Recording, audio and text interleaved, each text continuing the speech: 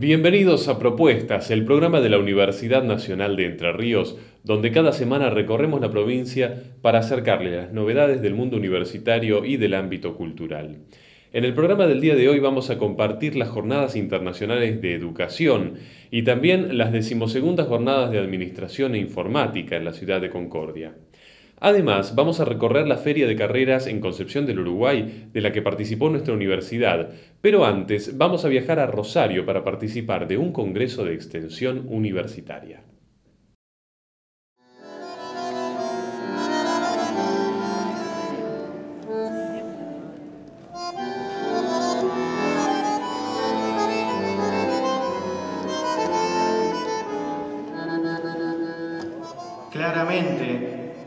Entendemos que la extensión universitaria que hoy nos convoca y que hoy nos permite encontrarnos no tiene nada que ver de esa extensión tradicionalista.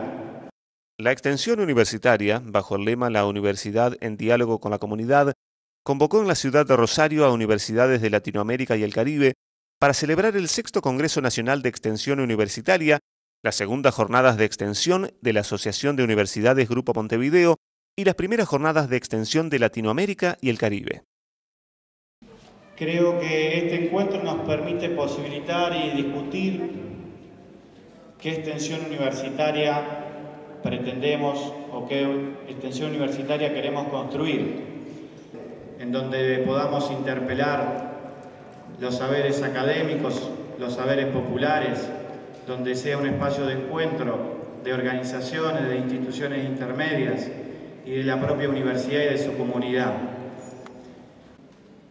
Poder comprender que es necesario que la universidad preste más atención a la reflexión práctica y deje de estar en la comodidad de la reflexión teórica, esa comodidad que nos brindan los edificios, esa comodidad que nos brindan las aulas, esa comodidad que nos brinda un techo, Organizado por la Universidad Nacional de Rosario, la UNER participó con más de 30 proyectos. Hubo cinco ejes sobre los cuales giraba toda la producción que se presentaba y sobre esos cinco, cada uno de esos ejes había mesas de debate y había pósters.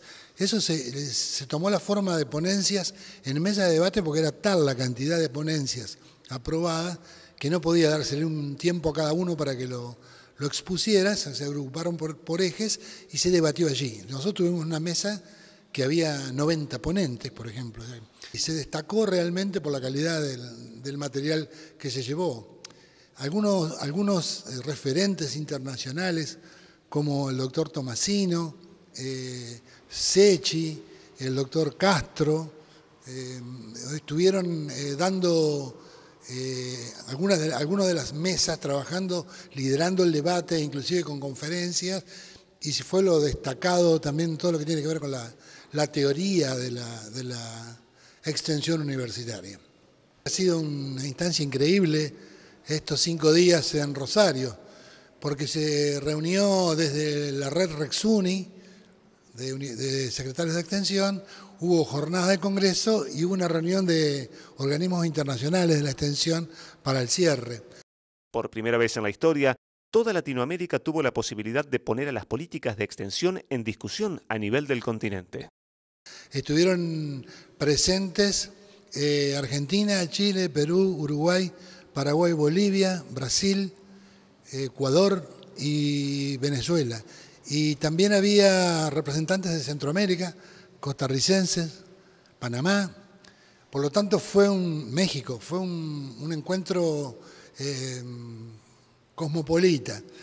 Si tuviéramos que hacer un resumen de qué nos dejó el Congreso como institución, como universidad, yo creo que fue muy interesante la participación de muchos alumnos. Esto no, no siempre se ve en estas reuniones nacionales de tantos días. Eh, hubo muchos alumnos trabajando en, prácticamente en todas las mesas. Se ha afianzado el concepto de que la extensión es una ecología de saberes, como decían los, los brasileros, que hay que salir del aula, que hay que ir a la comunidad y que hay que trabajar con la comunidad cruzando saberes, rompiendo el viejo modelo de la docencia, del que todo lo sabe y, este, forma a quien no lo sabe, al alumno. Este tema de la ecología de saberes le ha dado, em, que está cada vez más presente en todos los proyectos, le da un perfil muy interesante a la presencia de las organizaciones sociales en nuestros proyectos de extensión. O sea que cada vez más hay una línea de trabajo con cooperativas, ONG, organizaciones no formales pero que existen, que están trabajando con nuestros extensionistas fuera del aula. De forma que me parece que es un avance eh, importante hacia dónde, eh, que muestra hacia dónde debiéramos dirigir nuestros esfuerzos en extensión universitaria. Eh, deja de ser el aula el único espacio de aprendizaje, aparece el medio y sus actores, los sujetos colectivos con los cuales nos relacionamos, como actores en un proceso en donde aprendemos y enseñamos, en donde hay este, construcción de conocimiento nuevo, en donde hay intenciones de transformación de la realidad. Y eso pensamos que de alguna forma aporta a pensar una universidad distinta. Y eso nos parece que es muy bueno, me parece que es una de las funciones, eh, más que una de las funciones, es uno de los desafíos importantes que enfrenta la Universidad Pública Latinoamericana. Eh, que haya un eje curricularización me parece notable y me parece que de alguna forma, bueno, este, da lugar a que todas estas prácticas que están ocurriendo en varios lugares, la UNER una este, notoria experiencia en este sentido, que podamos debatirla, podamos comunicarla a otros compañeros, podamos este, generar la posibilidad de, de tener espacios de esperanza para una transformación de la universidad que contribuya a una sociedad distinta.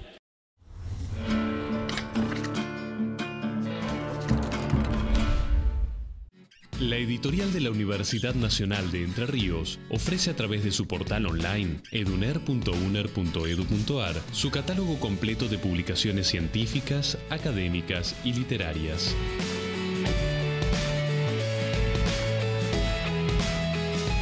Adquiera sus libros online de una manera rápida y segura, ahora también con tarjeta de crédito Visa. Eduner Editorial de la Universidad Nacional de Entre Ríos.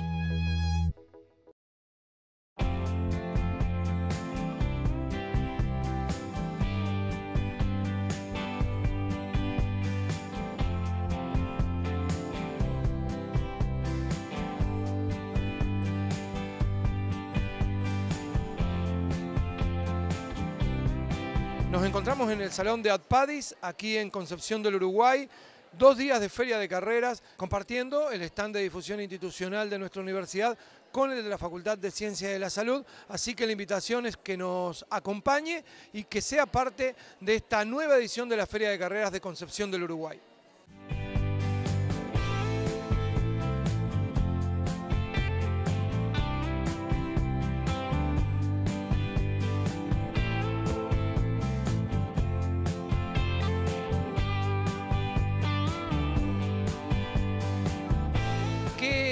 Esperan una vez que termine el colegio en cuanto a su vida como estudiante?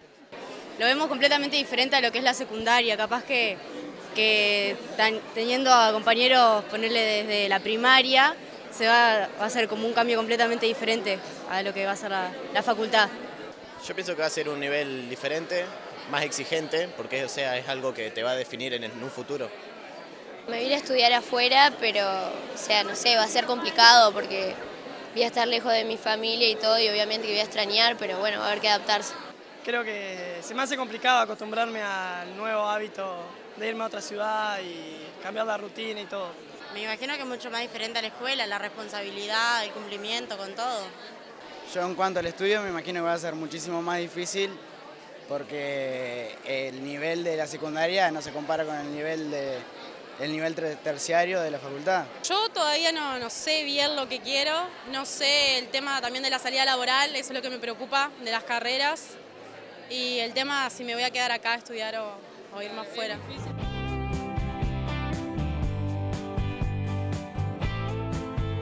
dirías un chico que viene y te pregunta, contame de tu carrera? Y bueno, es una carrera corta, de tres años, ahí te recibís como técnico, ya tenés salida laboral y son dos años más para hacer licenciatura que te sirve para hacer docencia, investigación. pero es una carrera muy interesante, aparte es muy práctica. Nosotros, por ejemplo, que estamos en primer año, ya vamos a la clínica Uruguay a observar quirófano y es muy bueno, me gusta. Que se animen, que se animen que está bueno, es didáctico y muy lindo. Para convencer a los chicos yo diría que es una carrera distinta a las demás. Eh, tiene un método de enseñanza más dinámico, está basado en aprendizaje a partir de problemas eh, y es una experiencia que no, no la podría perder.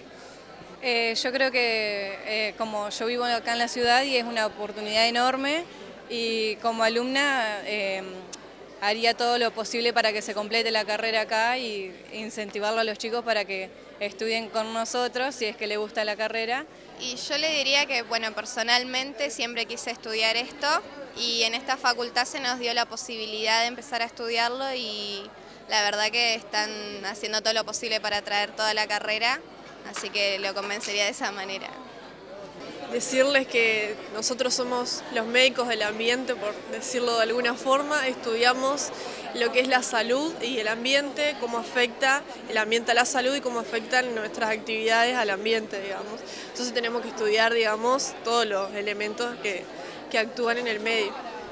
Está muy bueno porque la facultad tiene un edificio nuevo, digamos, que, tiene muchos espacios verdes, es cómoda, conoces a mucha gente, tenés becas, por eso me, me inscribí en lo que es la beca de difusión que ahora estoy haciendo.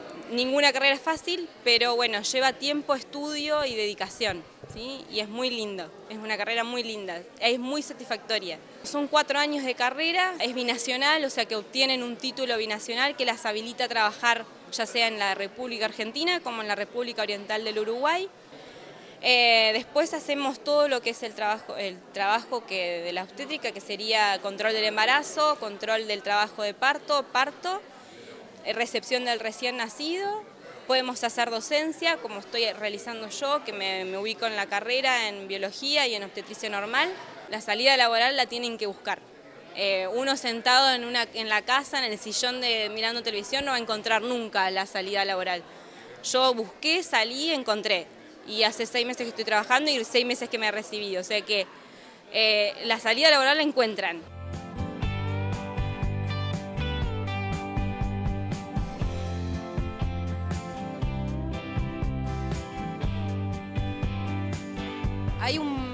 Una gran necesidad por ahí, hoy por hoy, de eh, la inserción laboral. Y eso hace que se elija nuestra carrera porque eh, es una de las grandes em, carreras que te insertan laboralmente ni bien te recibís. Los esperamos con los brazos abiertos, la carrera de enfermería es, es una carrera de vocación, el enfermero actúa en todos los niveles y mm, hoy por hoy se dedica mucho más a la docencia, a la investigación, a la extensión, no solamente al asistencialismo puro como años atrás.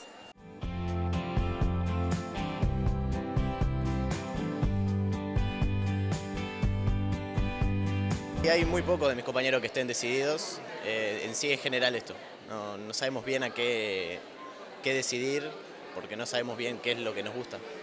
Yo creo que uno con la modalidad que elige ya está pensando en qué puede llegar a seguir una vez que termine la secundaria, pero sí, se va pensando y más o menos la orientación ya se sabe. Uno siempre tiene en cuenta los gustos y cosas que ya tiene desde hace años, pero, pero por ahí te cambian y también tienes que saber que tampoco está mal empezar algo y si no te gusta buscar otra cosa, es complicado pero sí, uno tiene siempre una idea. Yo, por ejemplo, en mi caso no había ido a ninguna facultad a ver todavía, y como que, traigan todo esto acá un día de clase encima que podemos venir, eh, está re bien, porque para no ir facultad por facultad ya te averiguas todo acá.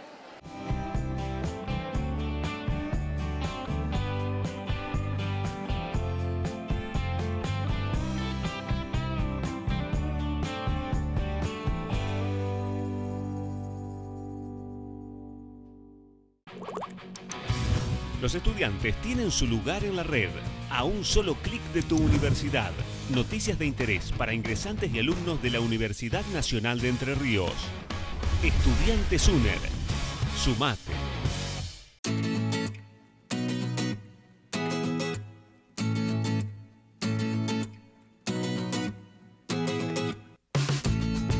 Se desarrollaron en Concordia las jornadas de Administración e Informática con adhesión a la segunda semana del Emprendedor Tecnológico del Ministerio de Ciencia, Tecnología e Innovación Productiva. Bueno, eh, una cosa interesante que son las décimos segundas jornadas de Administración e Informática. Y lo interesante es que las hicimos ininterrumpidamente. En este caso, estamos en el transcurso de las mismas, la hicimos durante tres días. Está dirigida a quienes participan, alumnos de la carrera, fundamentalmente de la licenciatura en Administración y de la licenciatura en Sistemas. En este marco, distintos emprendedores expusieron sus trabajos a los alumnos, uno de ellos una plataforma de ventas online llamada Nexo Comercial.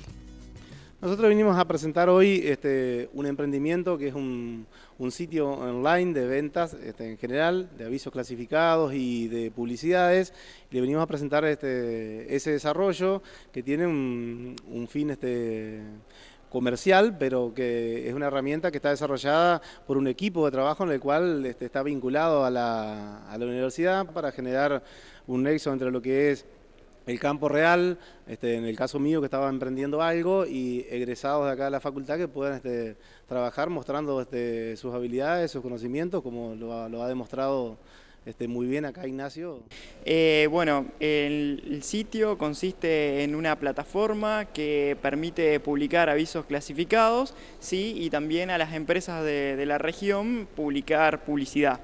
Eh, bueno, como decía Rafael, mi, participación en las jornadas tiene que ver con contarles a los alumnos de sistemas un poco el trabajo que hice, ¿sí? todas las peripecias que nos llevó digamos, llevar a, buen puerto digamos, este, este proyecto. Que ya está implementado, pero implementado digamos, desde el punto de vista que está en línea el sistema, el, sitio, pero la implementación no termina acá. Hay que hacer mucho trabajo este, de inserción dentro de la sociedad, porque digamos, un sitio que está en línea no implica que está implementado. tenemos que esperar los resultados y para eso tenemos que seguir trabajando este, mucho. Inclusive todas las publicaciones de clasificado y demás están, están liberadas en este momento, son publicaciones gratuitas, simplemente tienen que registrarse en el sitio y hacer las publicaciones. Este, para darle difusión y uso y que puedan probar esta herramienta que tenemos este, en línea en este momento, digamos. sea que... En informática hay una cuestión que es que eh, si bien hay un desarrollo teórico, ¿sí? Eh, digamos, al momento de salir a trabajar se necesitan conocer herramientas. ¿sí? Y bueno, era un poco también esa mi idea, digamos, mostrarle a los chicos eh, las herramientas que usamos para desarrollar Nexo Comercial, mostrarles, como te decía hoy, digamos, el tiempo que lleva digamos, el, trabajo, las cuestiones que hay que tener en cuenta y demás. En otra de las exposiciones se analizaron las convocatorias vigentes para financiamientos a emprendedores. Vamos a desarrollar un módulo que tiene que ver con el proceso de conformación de empresas, empresas basadas en el conocimiento, y analizar digamos, las diferentes fuentes de financiación que existen para ese tipo de emprendimientos. Eh, básicamente lo que vamos a hacer es trabajar sobre la información disponible de las distintas convocatorias, tanto públicas como privadas. De hecho, lo que queremos enseñarles es a buscar su propia información y a mantenerse actualizado para que estén al tanto siempre de cuáles son, orientados a la línea emprendedor, cuáles son las distintas formas de financiarse, por ahí si tienen una idea, un proyecto y no tienen cómo iniciar. Y estamos queriendo, digamos, generar ese paso, digamos, que el alumno no se vea como un graduado digamos, que va a trabajar en el futuro en relación de dependencia, sino que tenga la motivación, tratar de motivar para que vean que generar empresas es posible, que es redituable, que es agradable, digamos, para cada uno de ellos, que los motiva. Entonces estamos tratando, a través de este tema de conferencia, de imponer la jornada, dar difusión a este tipo de, de encuentros. ¿no? Por ahí desde la facultad los podemos acompañar podemos acompañar su idea, podemos darle asesoramiento que por ahí no pueden encontrar o tienen que abonar a otro lado y que estamos disponibles para todas las consultas que sean del rubro emprendedor sobre todo.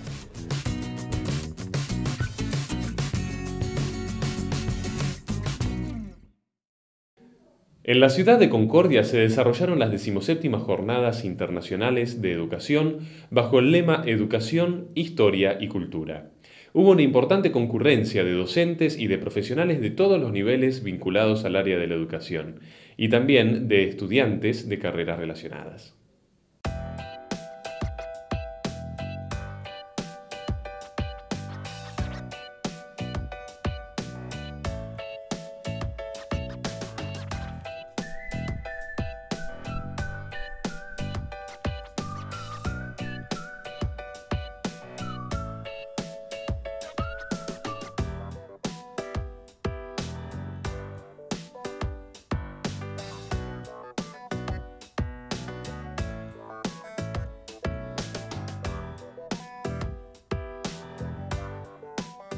El, eje de la educación nosotros tratamos todos los años de que se convierta e, en un eje transversal, pero que haya otros ejes que vayan articulándose con él. Este año eh, son la historia y la cultura, además del, del eje más importante que es la educación para nosotros. Y los diálogos que puedan tener entre ellos las distintas disciplinas. Desde hace 17 años que venimos realizando las jornadas de educación, como decía Marita, todos los años en torno a la cuestión justamente de la educación, con distintos ejes temáticos en los distintos años, y siempre tratando también que además de las conferencias este, magistrales y de las actividades generales, haya también una opción de talleres que este, los participantes puedan elegir para profundizar en alguna temática. Este año nos interesó eh, vincular la educación con la historia y la cultura y eh, esta problemática que en la escuela se da, digamos, de la diversidad cultural, ¿no? Eh, de qué hablamos cuando hablamos de cultura o hablamos de culturas, lo mismo que cuando hablamos de historia o hablamos de historias que se pueden contar, ¿no?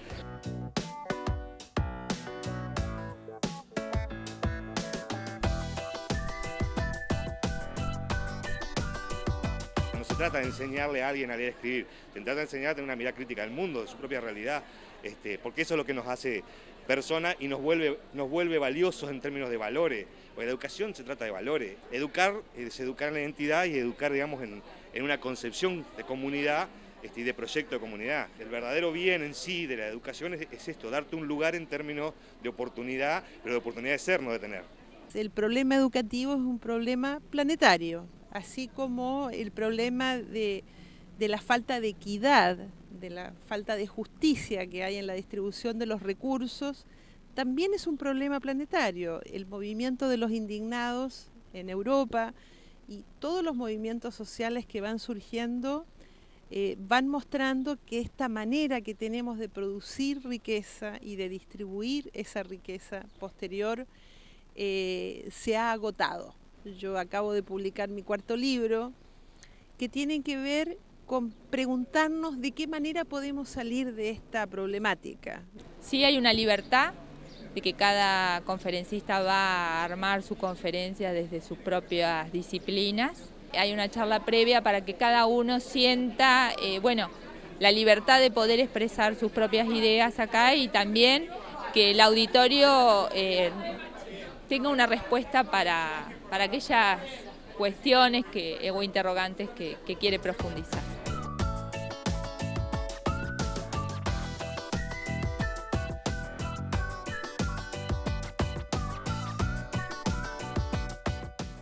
Que entendemos que más allá de ser una facultad de ciencias de la administración, es una facultad que tiene como objetivo educar, educar profesionales, formar profesionales integrados en la sociedad. Entonces, en ese sentido, asumimos la, cuestión educativa como una cuestión eh, fundamental, digamos, de la universidad y además un poco al servicio de todo el sistema educativo, ¿no? Es decir, en, esta, en estas oportunidades la universidad se abre particularmente a docentes y a interesados, digamos, de distintos niveles del sistema educativo, ¿no? Y esto nos resulta eh, muy grato este, y creemos que es parte de la función, digamos, de extensión de la, de la universidad también.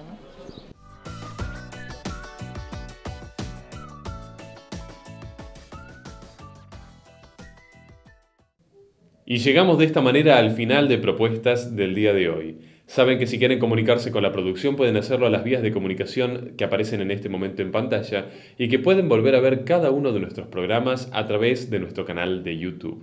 Los encontraremos la próxima semana cuando desde la Universidad Nacional de Entre Ríos volvamos para traerles más propuestas.